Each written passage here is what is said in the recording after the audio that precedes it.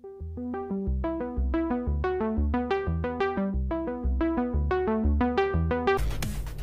everyone, I am Arun Kumar. Welcome to our YouTube channel NEET YUG. In this particular video lecturing series, I'll be focusing on chapter number 1 of NCERT Biology that is the living world and in this particular video session I'll be discussing about the properties of life.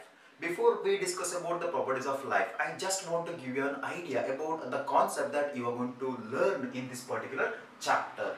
So let us see the concepts first properties of life. Here you are going to learn about growth, reproduction, metabolism, consciousness and cellular organization. Then taxonomy, the four basic elements of taxonomy. Then systematics. Next binomial nomenclature, the universal rules of binomial nomenclature, scientific names of different organisms. Then SAT, yes, synonyms, autonyms and T, tautonyms.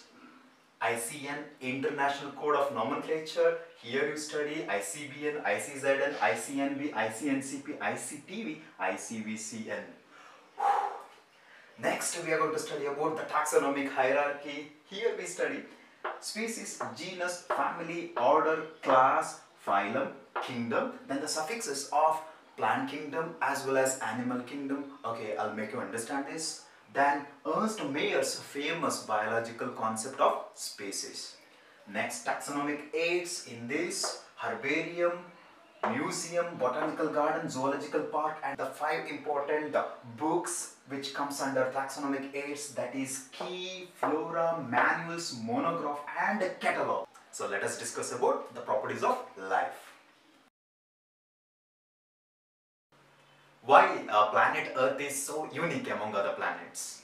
Earth is so special because it is the only planet which has a liquid water and it has got its own atmosphere, it has oxygen, the life gas. And it is the only planet where life exists. And all living organisms are intelligent. Now I, I have a question that what is exactly life?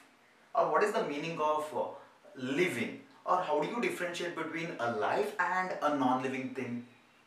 See, all living organisms share common characters uh, like uh, let us say growth, reproduction, uh, metabolism, cellular organization, consciousness, adaptation, locomotion.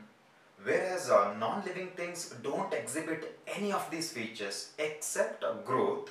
Growth in non-living thing is by accumulating materials on its surface. In life, growth is from inside